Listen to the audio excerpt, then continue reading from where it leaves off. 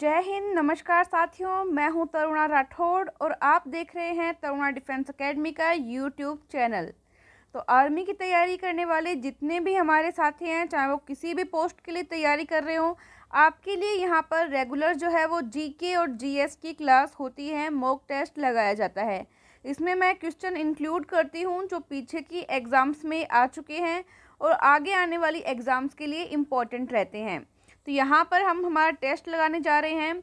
दो टेस्ट पहले लगा चुके हैं और ये है हमारा टेस्ट नंबर थ्री यहाँ पे। तो सामान्य ज्ञान का पोर्शन जो है पहले हम स्टार्ट कर रहे हैं। ये पहला क्वेश्चन जो है आपके सामने यहाँ पर आ चुका है ठीक है? पहला क्वेश्चन हम करते हैं। सभी अपनी स्क्रीन पर क्वेश्चन को देख पा रहे होंगे। हम्म, तो पहला क्वेश्चन है यूएस सैनिकों ने किस पाकिस्तानी शहर में ओसामा बिन लादेन को मार गिराया था? ऑप्शंस आपके सामने हैं, रावलपिंडी, पेशावर, अहमदाबाद या लाहौर। तो यहाँ पर आपको पता है, यूएस के जो सैनिक हैं, उनका एक प्लान जो है पूरा प्रॉपर हुआ था और जो ओसामा बिन लादेन जो आतंकवादी था, उसको पाकिस्तान में उन्होंने मार गिराया था। हालाँकि पाकिस्तान ने इसे अपना पल्ला झाड़ दिया था कि वो बोले, हमें तो इन्फॉर्मेशन ही नहीं थी कि आतंकवादी जो है हमारे देश में छिपा हुआ है। लेकिन ये सच था, झूठ था, जो भी था पर कौन से शहर में इसको मारा था वो आपको बताना है। तो ऑप्शंस आपके सामने हैं सारे, जल्दी से बता दीजिए। तो तीन नंबर जो ऑप्शन है, अहमदाबाद में इसको मार गिराया था, ओसामा बिन लादेन को। तीन ऑप्शन सही होगा थर्ड नेक्स्ट क्वेश्चन पे चलते हैं। प्रायद्वीपीय भारत का अंतिम दक्षिणी बिंदु कन्याकुमारी पड़ता है। कन्याकुमारी कहाँ पर स्थित है, ये आपको बताना है। तो कर्क रेखा के उत्तर में भूमध्य रेखा के दक्षिण में, मकर रेखा के दक्षिण में या भूमध्य रेखा के उत्तर में। तो यहाँ पर आपको पता होना चाहिए, नक्शा जो है भारत का दिमाग में एकदम फिट होना चाहिए। समीर सर ने करवाया हुआ है भारत का पूरा नक्शा तो वो देख लेना आप डिस्क्रिप्शन में हम लिंक डाल देंगे उसका। तो यहाँ पर जो है आपका थर्ड ऑप्शन बिल्कुल सही हो जाएगा, मकर रेखा के दक्षिण में जो है भारत का अंतिम बिंदु जो है कन्याकुमारी पड़ता है। नेक्स्ट क्वेश्चन गुजरात की राजधानी है। गुजरात की राजधानी तो गुजरात की राजधानी गांधीनगर है। आप सभी को ध्यान भी होगा, गांधीनगर। नेक्स्ट क्वेश्चन निम्नलिखित में से किस राज्य समूह में लोह अयस्क का सर्वाधिक निक्षेप पाया जाता है? लोह अयस्क का। ऑप्शंस हैं आपके सामने सारे दिए हुए हैं। देखो अभी, रुको मैं सारे ऑप्शन आपको शो कर देती हूँ। अब सभी को सब ऑप्शन शो हो पा रहे होंगे आई होप चलिए तो अब बताइए जल्दी से। तो लोह अयस्क का जो निक्षेप है वो झारखंड और ओडिशा में, झारखंड और ओडिशा में सर्वाधिक पाया जाता है। सेकंड नंबर ऑप्शन आपका यहाँ पे करेक्ट होगा। नेक्स्ट क्वेश्चन गिर राष्ट्रीय वन्य जो अभ्यारण्य है वो किस राज्य में है? गिर राष्ट्रीय वन। गिर राष्ट्रीय वन कौन से राज्य में है? ये कई बार क्वेश्चन आया हुआ है। अपनी जो आर्मी वाली बुक है उसके अंदर भी आपको मिल जाएँगे। तो हाँ एक बात और, अगर किसी के पास बुक नहीं है अभी तो वो बुक ले सकते हैं अमेज़ोन और फ्लिपकार्ट से ऑर्डर करके। तो बुक का जो लिंक है, वो डिस्क्रिप्शन में दिया हुआ है। अब कुछ स्टूडेंट्स के बार बार फ़ोन आते रहते हैं कि, मैम बुक नहीं मिल पा रही है। उसका रीज़न ये है कि जो लॉकडाउन लगा हुआ है, कुछ जो पिन कोड हैं, वो ऐसे हैं जिन पे फ्लिपकार्ट और अमेज़ोन जो है बुक डिलीवर नहीं कर पा रहा। तो आप लोग साथियों ई बुक ले सकते हो। क्या ले सकते हो? ई बुक जो कि मात्र आपको जो प्रैक्टिस सेट वाली है वो ट्वेंटी रुपये में और जो फुल सिलेबस बुक है वो ओनली थर्टी रुपये में आपको मिल जाएगी। इसके अंदर भी कुछ ओरिजिनल पेपर्स हैं थर्टी रुपये वाली बुक में भी और इसमें प्रैक्टिस सेट हैं ट्वेंटी वाली में। तो ये ले सकते हो, इसमें पूरा सिलेबस है टॉपिक वाइज हैं और साथ में पच्चीस सौ प्लस क्वेश्चन इसमें आपकी प्रैक्टिस के लिए भी दिए हैं। और ये आपकी प्रैक्टिस के लिए है पूरा। तो वो आप ले सकते हो। तो कोई दिक्कत नहीं है। यहाँ पे अब गिर राष्ट्रीय वन जो है, कहाँ पे है? जल्दी से बता दीजिए। तो ये गुजरात में है। कहाँ पे है दोस्तों? गुजरात में। नेक्स्ट क्वेश्चन पे चलते हैं। जेल में अनशन करते हुए किस स्वतंत्रता संग्राम सेनानी की मृत्यु हो गई थी? तो वो थे जतिन दास जी। जतिन दास जी, यहाँ पे आपका सही जवाब हो जाएगा। ऑप्शन नंबर एक। नेक्स्ट क्वेश्चन पे चल रहे हैं। क्वेश्चन सामने आ चुका है आपके। भारत का सबसे अधिक उपजाऊ क्षेत्र कौन सा है? तो भारत का सर्वाधिक उपजाऊ क्षेत्र जो है ऑप्शन आपके सामने हैं। हिमालय क्षेत्र है। कौन सा क्षेत्र है? हिमालय क्षेत्र है आपका। क्वेश्चन नंबर आठ सूर्य ग्रहण कब होता है? ये क्वेश्चन कई बार आ चुका है। सूर्य ग्रहण कब होता है या चंद्र ग्रहण कब होता है? तो सूर्य ग्रहण तो दोस्तों होता है अमावस्या के दिन। कब होता है? अमावस्या के दिन। और आपको कमेंट बॉक्स में जवाब देना है कि चंद्र ग्रहण कब होता है। चंद्र ग्रहण कब होता है? ये आप जवाब देंगे साथियों, ठीक है? कमेंट बॉक्स में बताएँगे। नेक्स्ट क्वेश्चन पे चलते हैं। ज्ञानपीठ पुरस्कार किससे संबंधित है? ज्ञानपीठ पुरस्कार। ये भी काफ़ी इम्पोर्टेंट क्वेश्चन है साथियों। काफ़ी ज़्यादा इम्पोर्टेंट बार बार रिपीट हुआ है एग्ज़ाम में। तो ज्ञानपीठ पुरस्कार जो है वो साहित्य के क्षेत्र के लिए विशेष योगदान स्वरूप दिया जाता है। तो फ़र्स्ट जो ऑप्शन आपका सही हो जाएगा। ठीक है?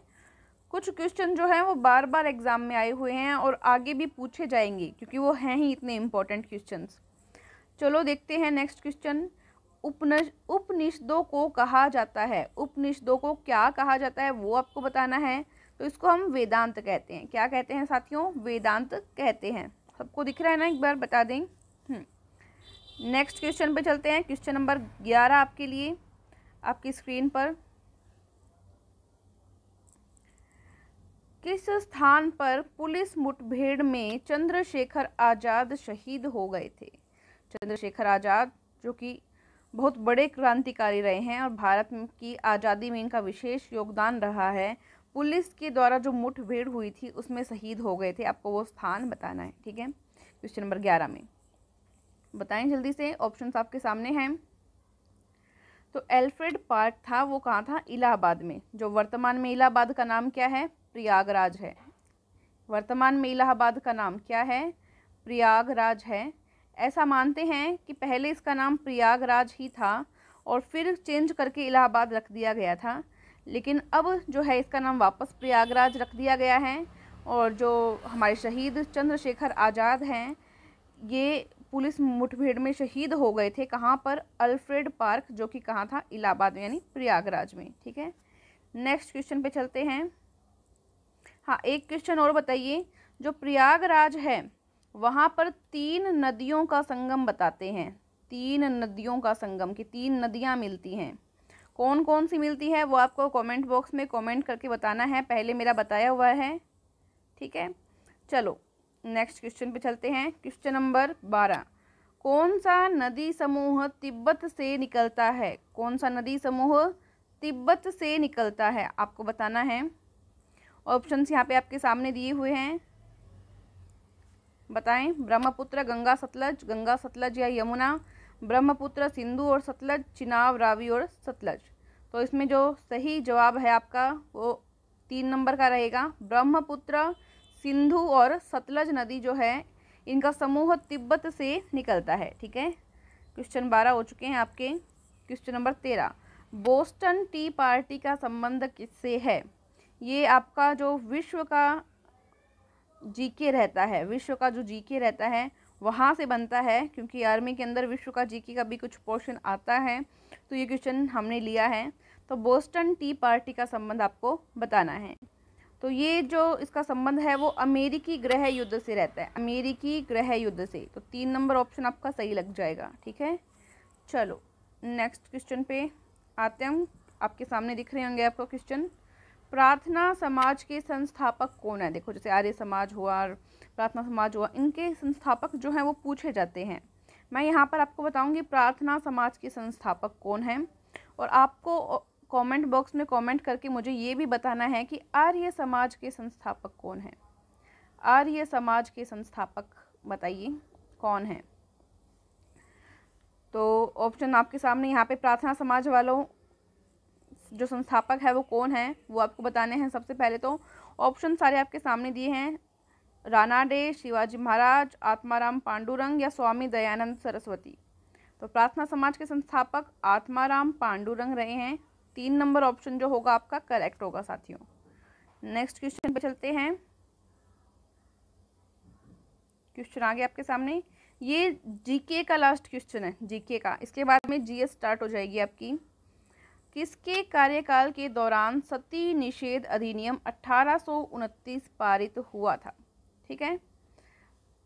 एक क्वेश्चन मैंने थोड़े दिन पहले करवाया था। मैंने आपको पूछा था कि जो सती प्रथा है, जो सती प्रथा है, वो किसके प्रयासों से उस पर रोक लगी? किसके प्रयासों से सती प्रथा पर रोक लगाई गई?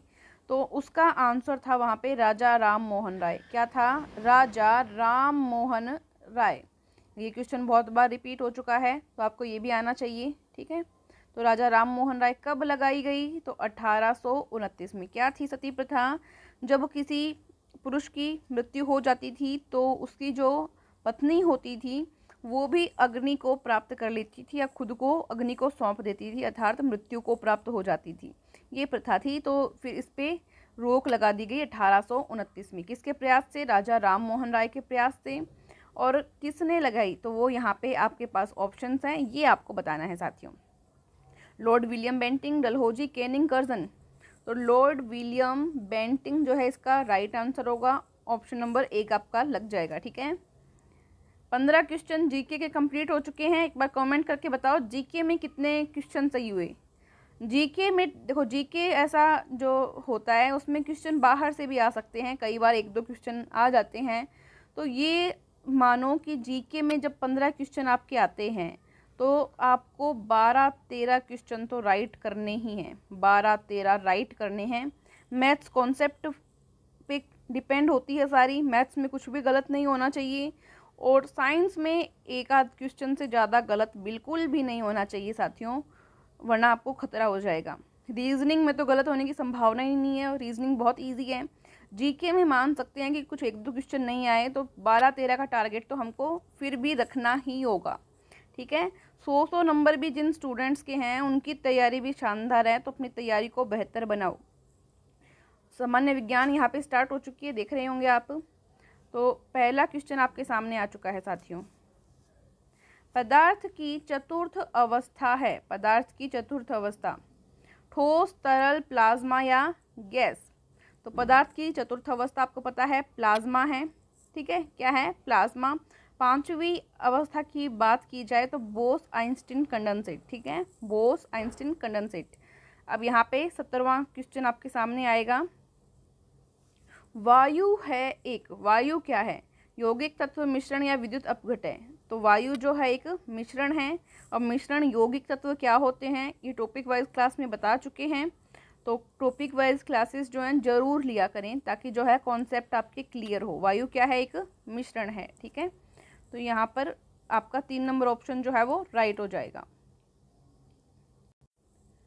नेक्स्ट क्वेश्चन स्क्रीन पे देख पा रहे होंगे। एक बार मैं इसको ऊपर कर देती हूँ। अठारहवा क्वेश्चन आपके सामने आ चुका है। तरल पदार्थ का घनत्व कम करने पर, गर्म करने पर, तरल पदार्थ का घनत्व गर्म करने पर उस पर क्या प्रभाव पड़ता है आपको बताना है? तो पता है आपको, जब गर्म करेंगे तो तरल पदार्थ का जो घनत्व है वो कम हो जाएगा। क्या हो जाएगा? कम हो जाएगा। तो फ़र्स्ट ऑप्शन यहाँ पे राइट हो जाएगा। सबको दिख रहा है क्या स्क्रीन एक बार? बताएँ। ठीक है तो पहला ऑप्शन यहाँ पे आपका राइट होगा। नेक्स्ट क्वेश्चन पे चलते हैं। निम्न में से कौन सबसे कम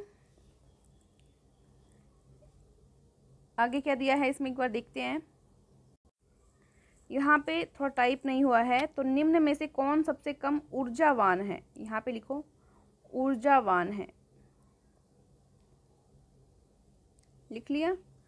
अब देखो, अब बताओ इसका आंसर द्रव, ठोस प्लाज्मा या गैस जल्दी बताएँ। सबसे कम ऊर्जावान तो सबसे कम ऊर्जावान कौन होगा? ठोस होगा। कौन होगा? ठोस होगा। बी ऑप्शन आपका राइट लग जाएगा, ठीक है? नेक्स्ट क्वेश्चन पे चलते हैं। Question number twenty. बर्फ़ के दो टुकड़ों को आपस में दबाने पर टुकड़े आपस में चिपक जाते हैं क्योंकि, कभी बचपन में प्रयोग किया भी होगा आपने कि बर्फ़ के दो टुकड़ों को दबाया होगा ज़ोर से तो आपने देखा होगा कि दोनों टुकड़े आपस में चिपक जाते हैं। क्यों चिपकते हैं वो आपको बताना है, ठीक है? जो दाब होता है ना, दाब जब हम अधिक करते हैं, दाब किसी चीज़ पे अधिक लगाते हैं तो बर्फ़ जो है, बर्फ़ का गलनांक क्या हो जाता है? घट जाता है। गलनांक क्या हो जाता है? कम हो जाता है और ये इस वजह से दोनों टुकड़े जो हैं वो आपस में चिपक जाते हैं, ठीक है? दाब अधिक होने से बर्फ़ का गलनांक कम हो जाता है और इस वजह से जो टुकड़े हैं वो आपस में चिपक जाते हैं। बी ऑप्शन सही लग गया यहाँ पे। नेक्स्ट क्वेश्चन पे चलेंगे। ट्वेंटी वन तापमान के समान रूप से बढ़ने पर निम्नलिखित में से कौन सी वस्तु अधिक फैलती है? तापमान को जब आप बढ़ाओगे समान रूप से तो कौन सी वस्तु सबसे अधिक फैलेगी वो आपको बताना है। तो गैस गैस के जो अणु है, पहले ही दूर दूर होते हैं और वो बहुत अधिक फैलेगी। तीन नंबर ऑप्शन लग गया। नेक्स्ट क्वेश्चन, निम्नलिखित में से कौन सा मिश्रण नहीं है? मिश्रण नहीं है, वो पूछा है तो चीनी मिश्रण होती है, नमक होता है और प्लास्टर ऑफ़ पेरिस होता है। हीरा जो है, हीरा जो है, वो मिश्रण नहीं होता है, ठीक है? तो तीन नंबर ऑप्शन यहाँ पे लग जाएगा। देखो, मैंने वैसे बुक में बताया हुआ है, ये टॉपिक वाइज जो अपनी फुल सिलेबस बुक है उसमें, और यहाँ पे भी मैं बता देती हूँ कार्बन के क्रिस्टल ये अपर रूप से क्वेश्चन पूछा जाता है। कार्बन के क्रिस्टलीय अपर रूप। क्रिस्टलीय अपर रूप। इनमें तीन होते हैं मुख्य रूप से। कौन कौन से होते हैं बताएँ? तो इसमें एक तो होता है आपका हीरा, जो अभी नाम आया, हीरा। इसके अलावा होता है ग्रेफाइट ग्रेफाइट। और तीसरा होता है फुल रिन तीसरा होता है फुल रिन ठीक है? अगर सर्वाधिक कठोर पदार्थ की बात करें, सर्वाधिक कठोर पदार्थ तो हीरा। और यहाँ पूछा जाता है कि ग्रेफाइट जो है, उसकी प्रकृति है। विद्युत का सुचालक है, कुचालक है, अर्धचालक है, क्या है? तो ग्रेफाइट जो होता है, इसमें मुक्त इलेक्ट्रॉन पाए जाते हैं। मुक्त इलेक्ट्रॉन इसमें पाए जाते हैं। इस कारण ग्रेफाइट की प्रकृति जो होती है, वो सुचालक की होती है। और ये विद्युत का सुचालक होता है, ठीक है?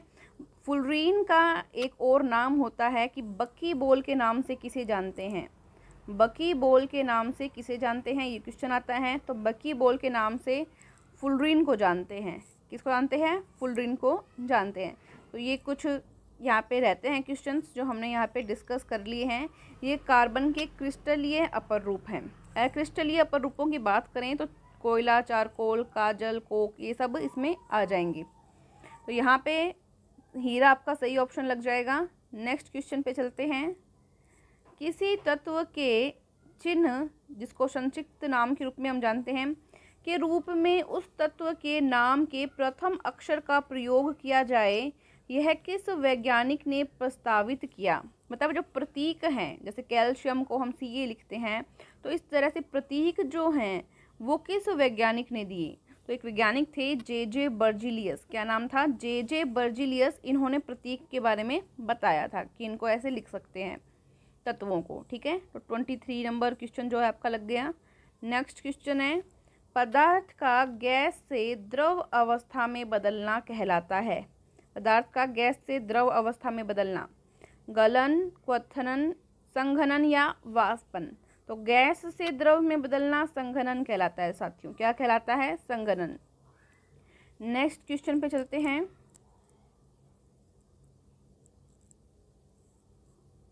क्वेश्चन नंबर ट्वेंटी फाइव दाब बढ़ाने पर द्रवों के द्रवणांक पर क्या प्रभाव पड़ता है? बताएँ ऑप्शन आपके सामने है। ट्वेंटी फाइव नंबर क्वेश्चन अप्रवर्तनीय रहता है, यह द्रव की प्रकृति पर निर्भर करता है। बढ़ता है या न्यून रहता है, न्यून कम रहता है, दाब बढ़ाने पर। देखो साथियों, दाब जब बढ़ाया जाता है किसी द्रव का तो जो उसका द्रवणांक है, वो कम या ज़्यादा होना, जो द्रव्य की प्रकृति है ना, कि द्रव्य जो है वो किस नेचर का है, उस पर डिपेंड करता है। तो यहाँ पे सेकंड नंबर ऑप्शन आपका सही लग जाएगा, ठीक है? चलिए नेक्स्ट क्वेश्चन पे चलते हैं। क्वेश्चन नंबर ट्वेंटी सिक्स वस्तु को उष्मा देने पर उनके अणुओं का अणु पर क्या इफ़ेक्ट रहता है? कंपन आयाम बढ़ जाता है, अणु भारी हो जाते हैं, अणु हल्के हो जाते हैं या ऊर्जा जो है अणु की वो घट जाती है। ये आपको बताना है जल्दी से। तो देखो, जब किसी वस्तु को, साथियों की कोई वस्तु है और इसको उष्मा दी जाती है, मानो इसको क्या कर रहे हैं हम? गर्म कर रहे हैं, ठीक है? तो उसके अणुओं पर, उसके अंदर जो अणु हैं, ये जिग जैक मोशन करते रहते हैं, ठीक है? जिग जैक मोशन करते रहते हैं। तो जब हम इसको उष्मा देते हैं और हीट देते हैं तो क्या होता है, इसके जो अणु हैं, उनका कंपन का आयाम जो है बढ़ जाता है, और अधिक कंपन करते हैं। तो यहाँ पे ए ऑप्शन यानी जो फ़र्स्ट ऑप्शन है, वो आपका राइट हो जाएगा, ठीक है? नेक्स्ट क्वेश्चन पे चलते हैं, क्वेश्चन नंबर ट्वेंटी सेवन। हवा में सबसे अधिक मात्रा में है तो ये तो सबको पता है, बच्चे बच्चे को पता है, नाइट्रोजन गैस जो है, वो सर्वाधिक मात्रा में पाई जाती है हवा में। कितने प्रतिशत पाई जाती है, ये आप कमेंट बॉक्स में मुझे कमेंट करके बताएँ कल परसों के लेक्चर में ही करवाया हुआ है ये मेरा। जल्दी बताएँगे। Question number twenty eight, plasma अवस्था में कण होते हैं। प्लाज्मा अवस्था में कण किस प्रकार होते हैं, व्यवस्थित होते हैं, आपको बताने हैं। अत्यधिक ऊर्जा वाले व अधिक उत्तेजित होते हैं, उदासीन हो जाते हैं, आयन होते हैं, या वह दो व तीन, दोनों सही रहेंगे, आपको बताना है जल्दी से।